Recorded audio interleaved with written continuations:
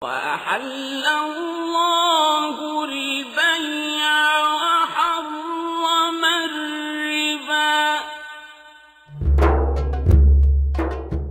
اللہ الرحمن الرحیم. السلام علیکم. میرا نام محمد عرفان احمد ہے اور میں بینک اسلامی میں ہیڈ شیئر کمپلائنس کے طور پہ کام کرتا ہوں۔ ایک سوال یہ کیا جاتا ہے کہ اسلامی بینک کس طرح سے کنونشنل بینک سے مختلف ہے اور اس کے اندر جو ڈپازٹ مینجمنٹ ہے وہ کس طرح سے انجام دی جاتی ہے؟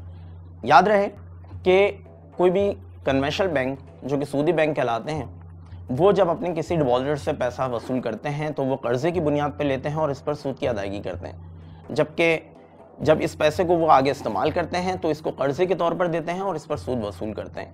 لہٰذا ایک شریعت کی روح سے جب ہم کسی کو قرضہ دیتے ہیں تو اس کے اوپر کوئی بھی کسی بھی قسم کا نفع حاصل نہیں کر سکتے اور اگر کوئی نفع حاصل کریں گے تو وہ سود ہے۔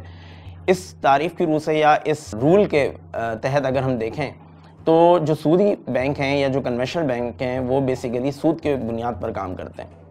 اس کے برعکس اگر ہم اسلامک بینکوں کا جائزہ لیں تو ہمیں پتہ چلے گا کہ وہ ہمارے ڈپازیٹر یا وہ کسٹمرز جو کہ نفع کے حصول کے لیے اسلامک بینکوں کا رخ کرتے ہیں، ان کے ساتھ مزاربت کا معاملہ کیا جاتا ہے، جو کہ شراکت داری کی قسم ہے۔ اور اس میں ہمارے جو کسٹمرز ہوتے ہیں یا اسلامی بینک کے جو ڈپازٹرز ہوتے ہیں، وہ نفع نقصان کی بنیاد پر اسلامک بینک کے ساتھ شرکت کرتے ہیں۔ اسلامی بینک ان پیسوں کو آگے شریعت کے بتائے ہوئے جائز طریقوں کے تحت استعمال کرتا ہے، جس میں خرید و فروخت، کرایہ داری یا شراکت داری کا معاملہ شامل ہے۔ ایک مہینے کے اختتام کے بعد اسلامی بینک جو کچھ بھی نفع حاصل کرتا ہے، وہ پہلے سے جو مزاربت کی طے شدہ تناسب ہے، اس کے مطابق اپنے ڈپازٹرز کے ساتھ شیئر کرتا ہے۔